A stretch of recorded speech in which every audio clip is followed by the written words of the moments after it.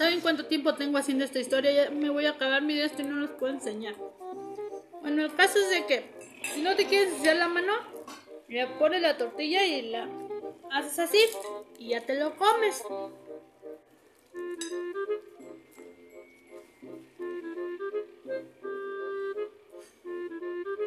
Y si te quieres ensuciar las manos, agarras la varita, así.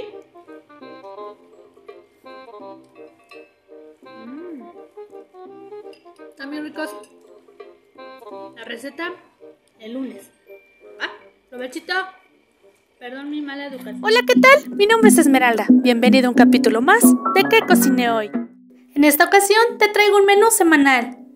Lunes. Salchichas con papas en salsa verde. Estos son los ingredientes que vamos a necesitar. Medio kilo de salchichas de pavo, medio kilo de papas cortadas, media cebolla, un kilo de tomate verde, un ramito de cilantro, un ajo, sal necesaria y aceite necesario. Esta receta es muy muy fácil y lo primero que voy a hacer es poner a cocer mis tomates, a poner un poco de aceite en mi cacerola y a dorar bien las salchichas hasta que cambien de color. Ya que están mis tomates los voy a moler con el ajo, la cebolla y el cilantro y las voy a agregar a mis salchichas. Pero antes le voy a poner las papas ya cortadas. Recuerda que yo las corto y las dejo en agua con sal y después le doy unas dos enjuagadas. Ya que, ya que este, las enjuagué y las escurrí, las voy a agregar aquí a las salchichas. De esta manera. Las dejo por unos 2-3 minutos y les voy a agregar la salsa verde.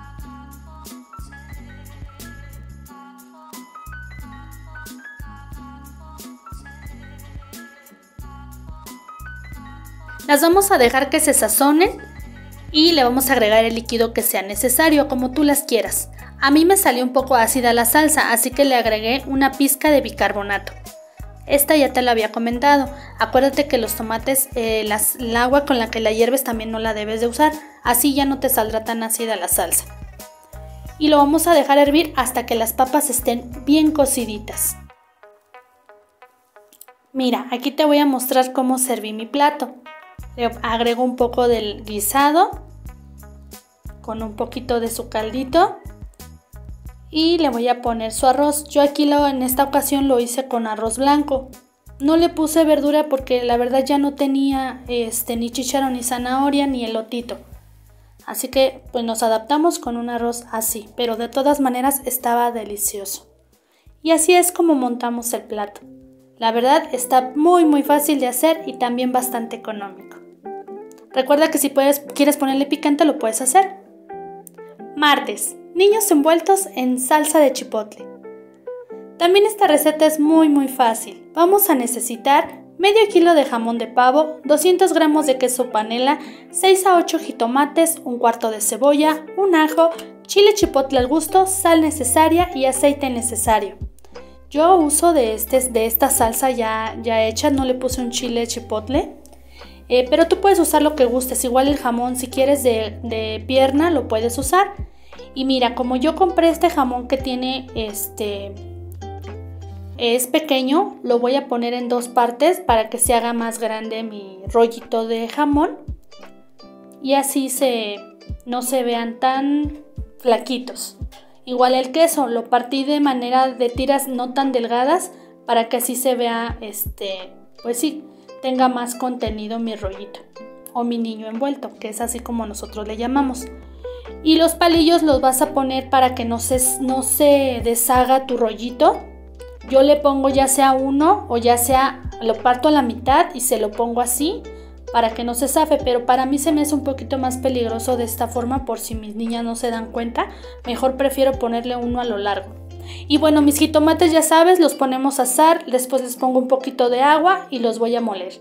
Y así es como quedan los rollitos. En esta, bueno, si gustas capearlos, aquí ya nada más los enharinas y los, los pones a capear con el huevo. Yo la verdad no lo hago, yo así les se las sirvo a mi familia. Y aquí mira, ya tengo mis jitomates en la licuadora y le voy a agregar un poco de la salsa de chipotle. Si no te gusta puedes poner chile morita, chile pasilla, chile guajillo, este, un chile verde, en fin, lo que tú gustes. Y aquí le voy a agregar consomé de pollo o sal. Ya es a tu preferencia. Recuerda que yo te doy la idea, pero tú le pones tu toque especial. Lo vamos a moler y lo vamos a agregar en la cacerola donde vamos a cocinar. Le puse un poco de aceite y voy a freír mi salsa. Le voy a agregar el líquido que sea necesario, si lo quieres muy espeso o un poquito más caldudito, tú le agregas un poco más de agua. Yo lo hice así, le puse un poquito más de agua para que quedara caldosito. Y le agrego mis rollitos de jamón. Ya después de esto es solamente que lo pruebes. Recuerda no ponerle tanta sal al jitomate a la hora de molerlo o tanto consomé de pollo porque nuestro jamón es salado. Así que solamente ponle poquito y ya que lo tienes aquí, ya que lo dejaste hervir unos dos minutos, lo pruebas otra vez de sal, si ves que le hace falta, le pones y lo dejas servir otro minuto. Pero prácticamente ya el platillo ya está listo. También es una receta muy fácil y muy económica.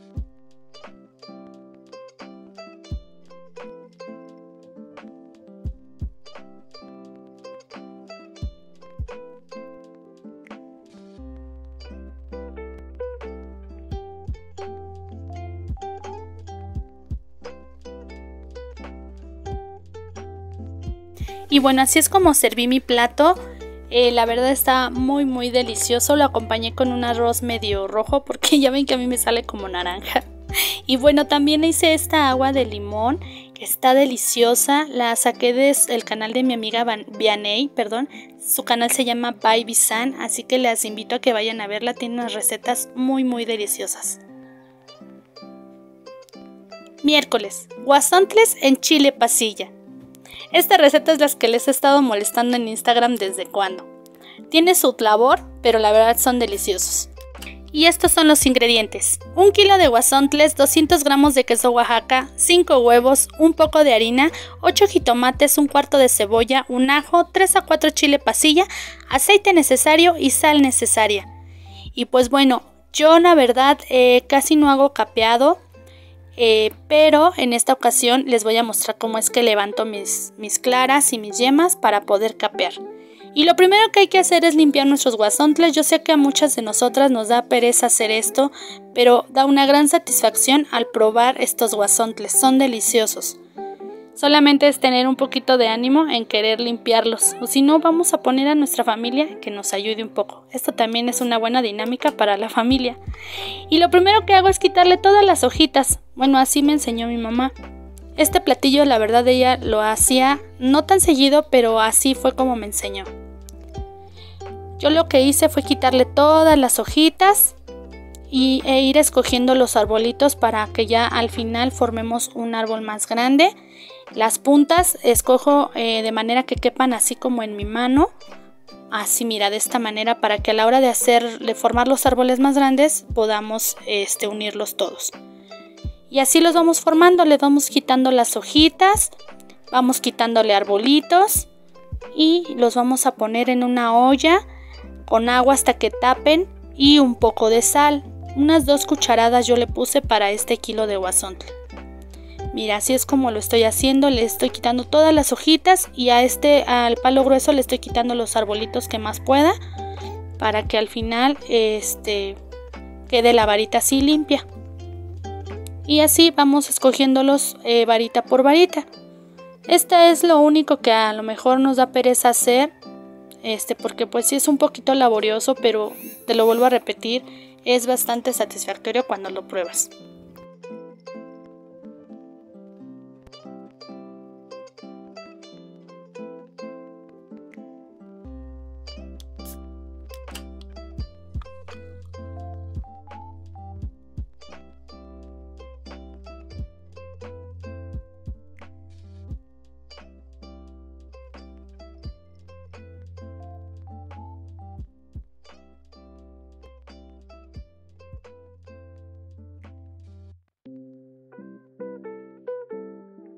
Y bueno, así es como queda. Estos son todos los arbolitos que recuperé y la basura que quedó. Y bueno, aquí ya los tengo cocidos, los dejé alrededor de 20 minutos. Este, hasta que la varita más gruesa tú la pellizques y se deshaga, este, ya están listos. Y vamos a empezar a formar nuestros arbolitos. Yo lo que hago es que sean más o menos al tamaño de mi mano. Voy formando una camita y ahí le voy a colocar este, en medio el queso Oaxaca. Tú puedes ponerle queso panela si gustas o queso blanco. Y así es como lo vamos a cerrar. Lo vamos a presionar, a presionar hasta que se queden compactado todo junto. Y lo vamos a colocar en la harina. Esto de la harina es para que ya al final se le pegue el huevo y podamos eh, capear. Mira, de esta manera. Y lo vamos a reservar. Y así vamos a empezar a hacer todos nuestros arbolitos. Vamos a formar nuestra camita, le ponemos el queso, le ponemos otros poquitos de arbolitos y presionamos. Y así es como queda, lo enharinamos y lo reservamos hasta que terminemos con todos ellos. A mí me salieron alrededor de 20 sí, como 20 y pues me gustó porque pues obviamente me alcanzó hasta para almorzar y estaban deliciosos. Eh, también mi mamá a veces lo llegaba a hacer en mole. No, no, no, una cosa deliciosa. Lo pueden hacer en la salsa que ustedes gusten. También esta receta es muy versátil en chile guajillo, en chile pasilla, en mole, este, bueno, la verdad yo nunca los he probado en salsa verde, este, pero en mole sí, sí los he probado. Y bueno, así es como quedan ya todos estén harinados y vamos a empezar a levantar nuestras claras. Yo te voy a mostrar la manera en que mi mamá lo hace. Yo no tengo batidora, ella tampoco, así que ella me enseñó a hacerlo de esta forma. Me costaba mucho trabajo al principio, de verdad te lo puedo asegurar. Yo creo que por eso también casi no capeo la comida, porque pues lleva también su labor el hecho de levantar tus claras cuando no tienes una batidora. Pero dicen que lo que bien se aprende nunca se olvida, así dice mi mamá. Y sí, porque ya tenía un buen que no hacía esto y me salió. Hasta mis hijas les dio curiosidad de, ay, a ver, mamá, ¿cómo le hiciste? Y ellas también me quisieron ayudar, querían aprender, pero ya al final, mamá, me duele mucho mi mano. Pues sí, sí duele porque hay que ponerle mucho empeño, hay que este, mover la muñeca bien rápido para que pueda levantar la clara. Y bueno, ya que ya separé mis claras, de esta forma lo hago yo y empezamos con el ejercicio. la quema de calorías aquí. sí sudé, de verdad que sí sudé, ya tenía un buen que no hacía esto. Pero miren, ahorita ya les puse cámara rápida, no crean que soy flash. Lo estoy haciendo ya en cámara rápida, voy moviendo mi, mi otro brazo y voy, este... Ahora sí que es como que le das vueltas, le das vueltas con el tenedor. El plato debe de estar limpio y seco, así es como mi mamá siempre me lo ha dicho.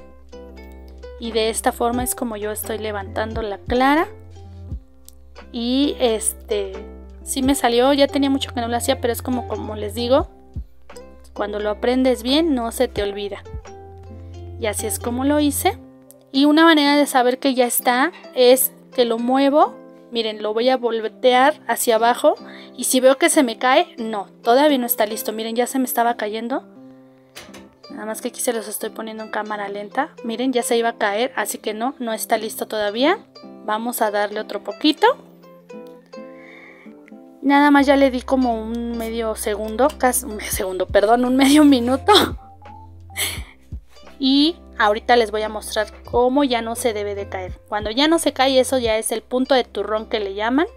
Y está listo para empezar a usar. Miren. Así.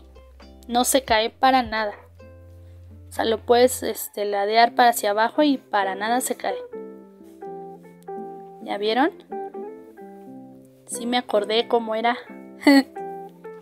y bueno, ya después de esto vamos a colocarle, mi mamá me ha enseñado que no desperdicie nada, así que le coloco las yemas, se las pongo de forma envolvente, así para que no se deshaga nuestro punto de turrón.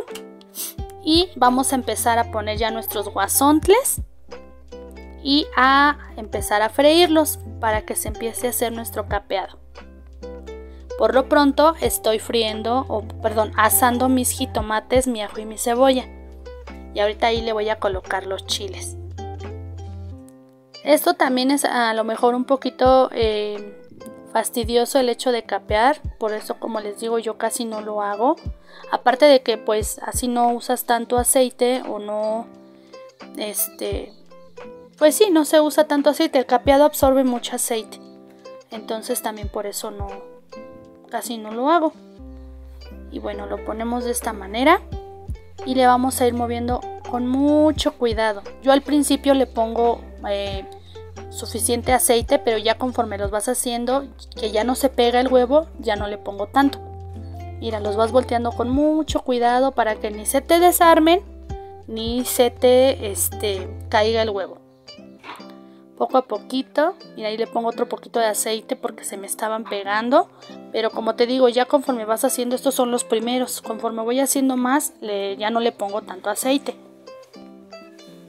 Mira, ya ahí ya no se me pegan y los vamos cuidando que por todos lados se cosa el huevo. Para mí sí vale la pena hacer este platillo porque está bien sabroso.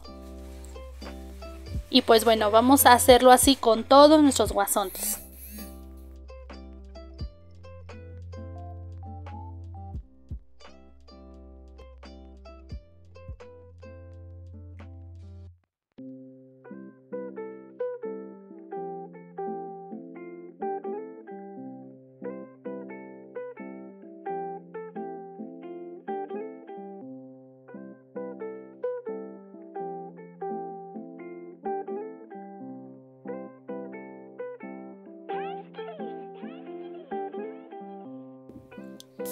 Y ya por acá ya tenemos asados nuestros jitomates y nuestros chiles también eh, los pusimos a remojar y lo molí. Le voy a colocar un poquito de aceite y voy a agregar nuestra salsa ya molida. Tiene que estar bien molidita, si ves que no se muele bien, lo cuelas para que no se vea ninguna este grumito de las, del chilito. Y ya aquí es cuando colocamos nuestros este, guasontles a que naden en esta salsita tan sabrosa. Recuerda probarla de sal, si necesita ponle más. Prueba, recuerda que bueno, también eso mi mamá me lo dice mucho, prueba. Si no pruebas, ¿cómo vas a saber que está rico?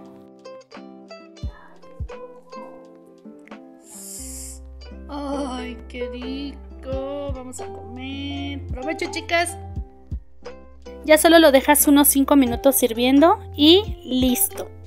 Esto quedó de esta forma, le puso unos frijolitos negros, lo puedes poner arroz, de lo que tú quieras lo puedes acompañar. Quedaron deliciosos. Jueves, codillo de puerco con ejotes en salsa verde. Bueno, esto es lo que vamos a necesitar para este guisado un kilo de codillo de puerco, un kilo de jotes, un kilo de tomatillo o tomate verde, un ramito de cilantro, un cuarto de cebolla, un ajo, sal necesaria y aceite necesario. Y lo que hice fue poner a cocer mi codillo durante 15 minutos en mi olla express con un poco de sal, ajo y cebolla. Y ahora los voy a pasar a mi cacerola a dorar un poco. Tienes que ponerlos todos hasta que cambien de color. A los cejotes solamente los vas a picar y los eh, yo ya los tenía precocidos. Este, por si yo normalmente siempre precozo lo que son eh, los cejotes o los chícharos. Este, para ya sea que una emergencia o que no hice de comer ese día, pues ya sea ejotes con huevo o demás.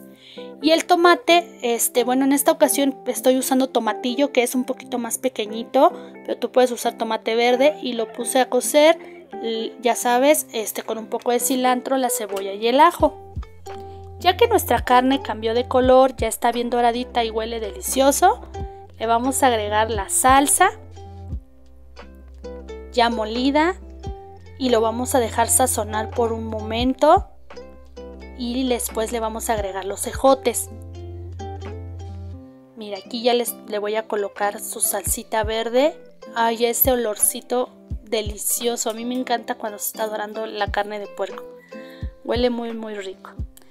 Y ya que sazonó un poco, le voy a agregar los ejotes que te comenté. Los míos ya están precocidos. Tú los puedes echar bien lavados este, y crudos. Nada más lo único que vas a hacer es esperar a que estén cocidos los ejotes. Es todo. Pero es de se ponen de la misma forma que si estuvieran crudos. Ya nada más los voy a revolver con la salsa y con la carne y yo aquí los voy a dejar nada más servir unos 5 minutos a que todo eh, agarre el sabor a probarlo chicas recuerden probarlo para que sepan este que está bueno Y mi platillo ya está listo. De esta forma. Viernes, alitas en barbecue. Esta receta es demasiado fácil, chicas. Lo que vamos a necesitar es un kilo de alitas de pollo, un media cebolla, un ajo, sal necesaria y un paquete de una bolsa de salsa barbecue de tu preferencia. Lo único que hice fue poner a cocer mis alitas con ajo, cebolla y agua por unos 25 minutos. Y esta es la salsa que yo usé. Esta la compré en tiendas neto. Este me costó 20 pesos, son 620 gramos. Y lo único que hice fue pasar mis, mis alitas a mi cacerola y bañarlas con la salsa barbecue ya tú puedes usar el corte de pollo que tú gustes, puedes usar puros muslos, en bistec, en fajitas. Este, yo en esta ocasión usé las alitas porque de hecho las iba a usar para vender, pero vi que eran me salen muy poquitas y de verdad aquí no le gano mucho. Preferí mejor que nos las comiéramos en familia. Y nada más las vas a dejar que se bañen bien, las dejas servir por unos 5 o unos de 3 a 5 minutos solamente para que agarren bien su saborcito. Los acompañas con una ensalada o un espagueti, chicas, delicioso y demasiado fácil. Demasiado fácil de hacer. También lo he hecho con carne de puerco con bistec. Dejo cocer bien el bistec y le agrego la salsa. Y miren, así de rico, delicioso sabe. Con una este, zanahoria rallada o con una jícama, como si te lo vendieran. Ay no, una cosa deliciosa. Ya ella le puedes apagar. Y bueno, yo espero que te haya gustado mucho este capítulo. Nos vemos en la próxima. Bye.